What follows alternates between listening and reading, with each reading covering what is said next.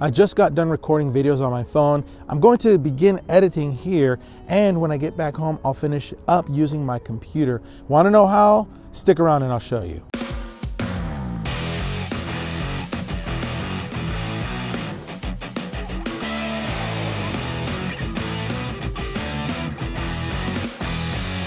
Hey everyone, what's going on? Claudio here, and welcome to my channel. I am Claudius, where I share tips and tools on how you can tell your stories as well as do tech reviews. If this is your first time here, consider subscribing to the channel. By the way, everything that I share with you, links and any tech, I will have in the description below for you to check out. As I mentioned at the beginning, I came out here to shoot some video. Now I'm going to start editing on my phone here. I'm going to go ahead and launch Adobe Premiere Rush and start the project here do a little bit of editing, and then wrap it up in the office at home. I'm going to create a new project. First thing I'll do is tap on the plus sign and then choose add media.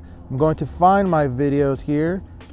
I've got four of them and create it. But before I do that, there's an option there that says sync with CC, which is Creative Cloud. I'm gonna make sure and tap that on. That's gonna ensure that I can continue working on this file on my computer at home. All right, so I've started the project on my phone. Let's go ahead and head back to the office to finish editing on the computer. All right, everybody, I'm back in the office. I just launched Adobe Premiere Rush on my computer and I see my project in the project windows. Now, here's a quick tip. If you don't see your project loading, check your sync app settings in Premiere Rush on your device. Either turn that on or off depending on where you're at. It'll either sync using cellular or Wi-Fi. Another way to know that your project has been synced to the computer is there's an icon with a little cloud on the lower left corner of the project. That shows me that this project is now synced to my computer. I'm gonna go ahead and click on it and I can now begin editing on the computer just as I would on my phone, go through all these different clips, trim them, color them, add text overlays, and then export and share. And with that, I'm gonna go ahead and continue working on this project and let you go.